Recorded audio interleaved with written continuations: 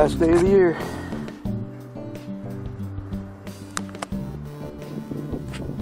Seventy degrees.